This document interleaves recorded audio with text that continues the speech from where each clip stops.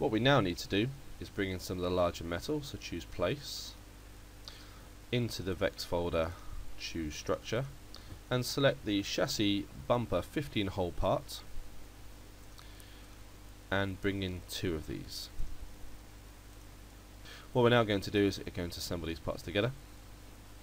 So first of all choose constrain, choose mate, and we're going to choose this underside edge here and mate that to this surface here. Select OK.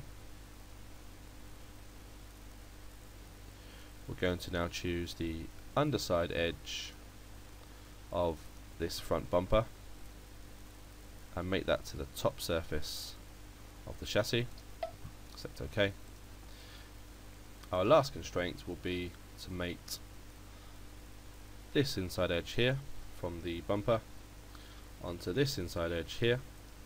We're going to choose to run them flush, select OK. And what we've now done is we've now set that chassis frame into position here. We can now move this to roughly the right position and we can now constrain these in place.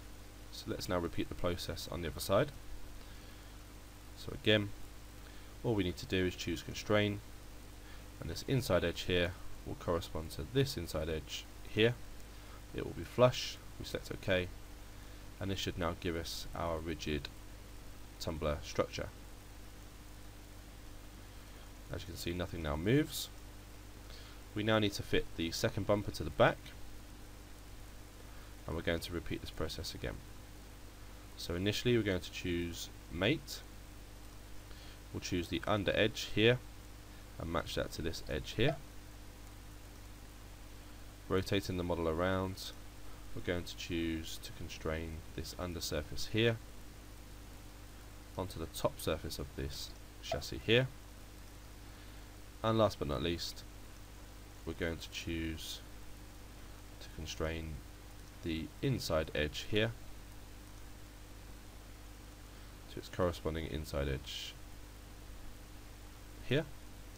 Make them flush and select OK and we should now have the completed frame of the tumbler built. What we're now going to do is save this assembly which we're going to call assembly 4 in this case. Select yes to all and go OK. And looking at this assembly and the real product we might suggest that these two chassis sections are too far apart. So what we're going to do is close this assembly we're going to open up the first assembly we created. So opening up our first assembly, what we can see is we can't click and drag this chassis closer to the corresponding chassis. So what we're going to do is click on the chassis part that we want to move, expand it, and we want to remove some of the mate constraints that have been set up that are stopping this from moving. So first of all we have a mate constraint here, which we're going to remove by right clicking and choosing delete and underneath the corresponding shafts we're going to also remove the first flush from each of these. Like so. We should now be able to move this and slide this around.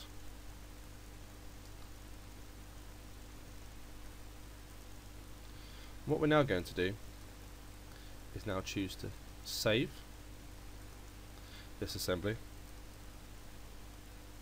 open up the new assembly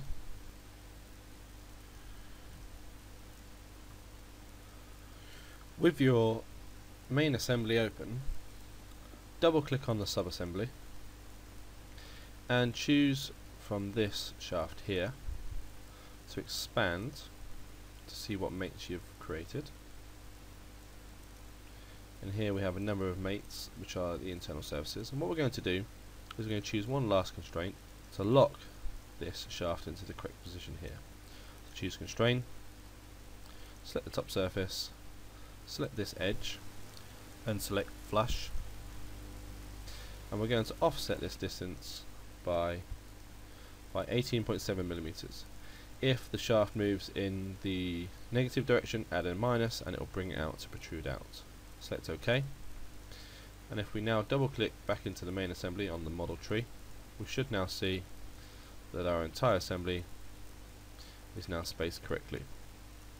Choose save choose yes all and select OK and we'll now move on to fitting some of the nuts and screws.